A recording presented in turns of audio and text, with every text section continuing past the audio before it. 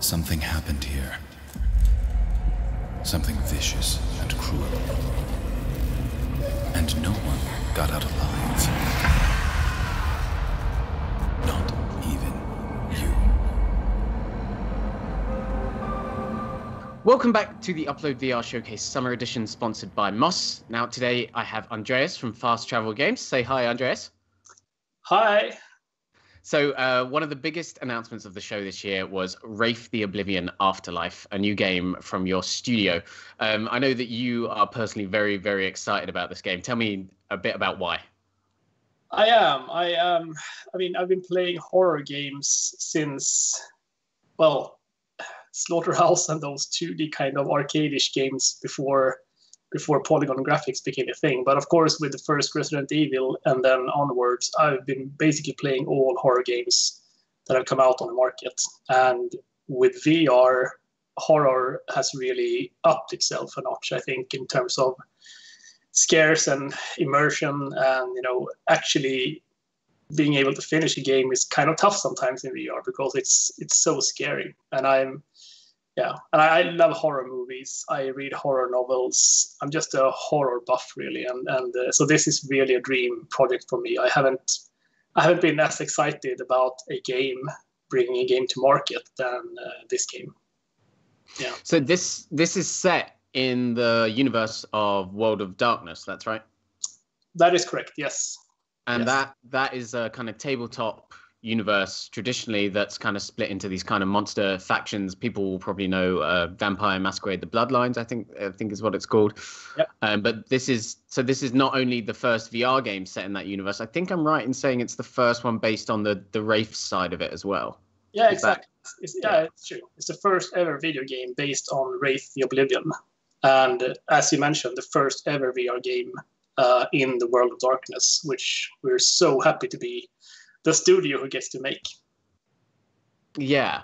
T- talk to me a bit about what like a, a, wraith is essentially because i think you know vampires and werewolves i think a lot of people get that straight away but a wraith i think comes with a kind of load of different supernatural connotations that is true i mean you could say they're kind of spirits but they're actually not referred to as spirits uh, what they are basically uh, is uh, an entity that is trapped between the living world and uh, the afterlife, so to speak. So in this game, uh, you will actually have died.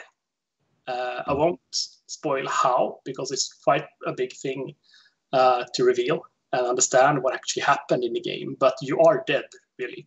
And as a wraith, you are sort of stuck in the afterlife before being able to transcend uh, from being dead.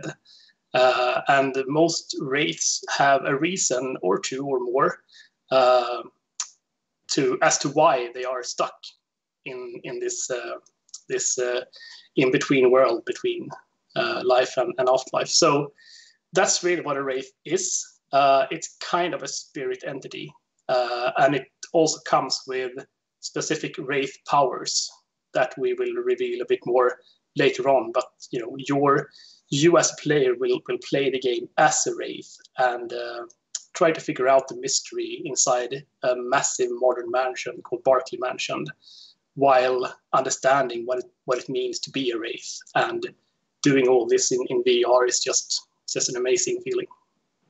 So the entire game is going to be set within that mansion. Um, yeah, as much as I can reveal right now, the mansion is very centered, centric to the whole experience. Uh, it's called the Barclay Mansion, and we will reveal more details later. But something happened there, something really, really vicious and cruel, and uh, it's up to you to understand what happened and uh, solve some other horrifying mysteries along the way. Uh, it's very narrative driven as well, so you'll get the story unwrapped, so to speak, as as play and, and uh, explore more of this mansion. Mm. Um, and uh, uh, you mentioned Resident Evil earlier as like one of the big VR, uh, the big horror games for you. Obviously, one of the great things about Resident Evil is is owning that mansion and knowing uh, which rooms to go back and forth between and solve puzzles. Is there that kind of element to the game? You think? Yeah, definitely. I mean, it, it has that kind of you find a new power or you level up a power and then you can go back and maybe open a door that you couldn't before uh, we try to add, you know, we're, we're saving a lot of information about the game until later, uh, but we're trying to add optional things to do in the game as well. So it's it's not necessarily a one straightforward you know road from the start to finish. Uh, you will actually be rewarded by for exploring the mansion and taking your time inside the game and, and, and really trying to dig deep in the different mysteries that are inside the mansion. So I think um, you know our creative director uh, has referenced games like Amnesia, The Dark Descent, and Alien Isolation um, as sort of inspirational uh, sources for what we're trying to make here. It's it's that kind of narrative-driven um, experience uh, where you're not necessarily, you know, a power fantasy. You won't go in, go guns blazing, or you know, you, you can't just run over uh, the specters or the ghosts inside the mansion. You have to use caution and uh, wits, of course, and intelligence, and really understand the surroundings, and sometimes even hide from the from the dangers as well. So, I'd say those two games are are inspirational sources for us when we when we set out to make this game. So, I guess just wrapping up then, this is your first horror game uh, as a studio where could would you estimate right now on a scale of one to ten the kind of horrors you're going for? Is it going to be like the full on ten? Going to be having nightmares about this, or is it going to be a bit more balanced, or, or, or what do you think? Let me put it like this: we have some issues now with uh, quality assurance in the studio because people refuse to play it. Right. Okay. Cool.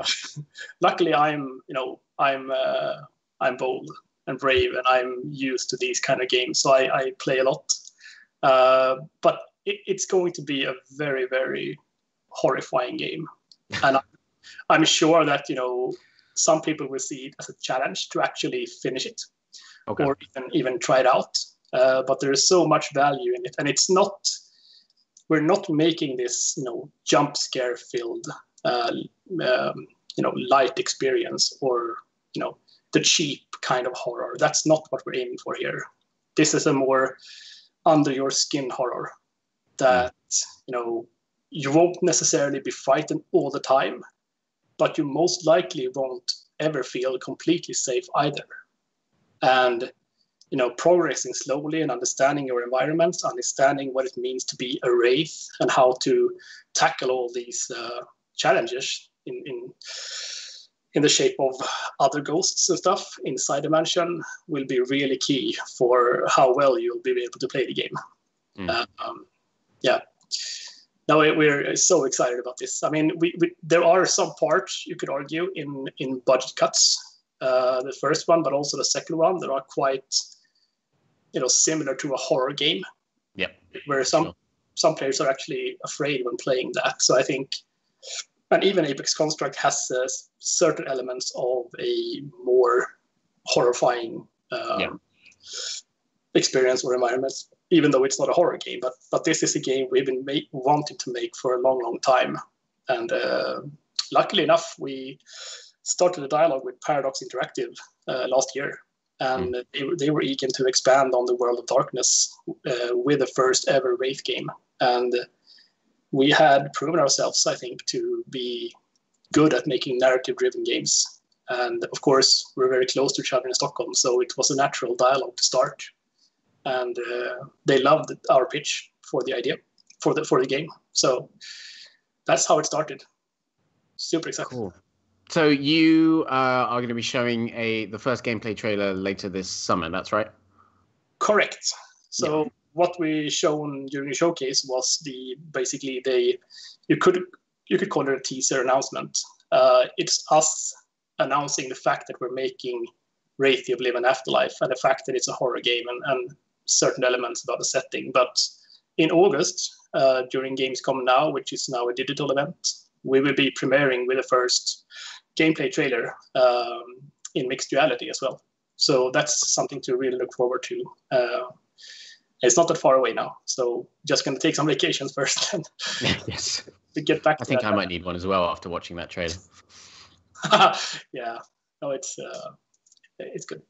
Cool. All right, Andreas, thanks so much for joining us today. Uh, stay with Upload. We'll have yet more interviews coming right up. Cool. Thanks for having me. Cheers.